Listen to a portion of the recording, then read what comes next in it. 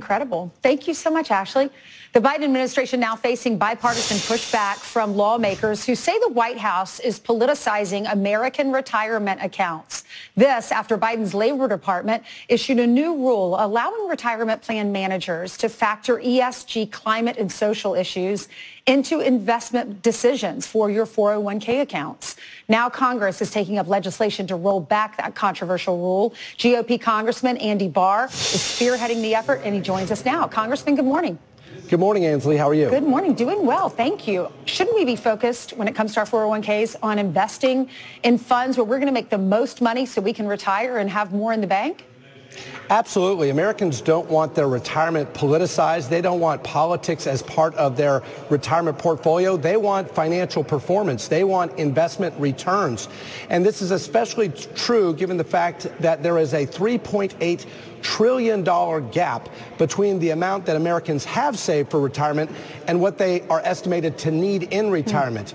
Um, eight out of 10 Americans are concerned whether or not they're going to be able to afford a comfortable retirement. Now is not the time to put politics or climate or social justice or other political factors ahead of financial performance in 401ks and other retirement plans. Congressman, where does this go? I know you'll get the House, but the Senate, Joe Manchin's on board, but you're going to need another Democrat. And if it does pass the Senate, it goes to the president's desk and he's expected to veto it. Right. We expect um, uh, the Senate to be able to pass this bill. We're going to pass uh, this bill disapproving this Department of Labor regulation that would steer Americans into lower performance, higher fee, uh, less diversified portfolios. And, and we expect all Republicans to be in favor of the, the, the legislation today. We expect Democrats, some Democrats will also support it as well because whether you're a Republican or a Democrat, we think most Americans don't want politics to be a factor in allocating their capital and determining whether or not they're going to have a secure retirement.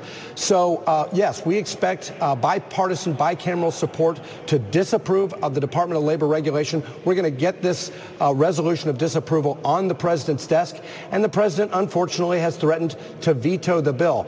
But putting every member of Congress on record to decide uh, for their constituents whether they're going to put their constituents' retirement security first or their own progressive political agenda ahead of their own constituents, I think that's an important effort uh, to hold America's uh, members of Congress accountable. And then ultimately, uh, we may need a new administration to reverse course on this, but I also expect a, an effort uh, in litigation uh, to uh, to uh, invalidate uh, mm-hmm. this regulation that will hurt America's retirement security. Congressman, there are a lot of states that are on board with you that are suing to end this ESG retirement plan option. give us an example of how, let's say you wanted to invest your money in oil and gas. What would happen? Well, see, this is the problem because um, according to the Department of Labor regulation, uh, many uh, of these retirement plan sponsors would be able to put workers into ESG or environmental, social, and governance funds without the investor's consent, without the worker's consent. They wouldn't even necessarily know that they're invested in an underperforming portfolio. And, and here's the, the sad reality that over the last five years, if you were invested in ESG funds, uh, your returns would be 250 basis points less than if you were in broadly diversified funds. Uh, uh, you know, the tracked, let's say, the S&P 500 index. So these are underperforming stocks. Why? Because energy has energy stocks have outperformed the broader market over the last year significantly. And tech stocks, which are heavy in these ESG funds, they've underperformed the, the market. Uh, so uh, these are the type of non-diversified investments that uh, don't deliver the returns that Americans deserve and need.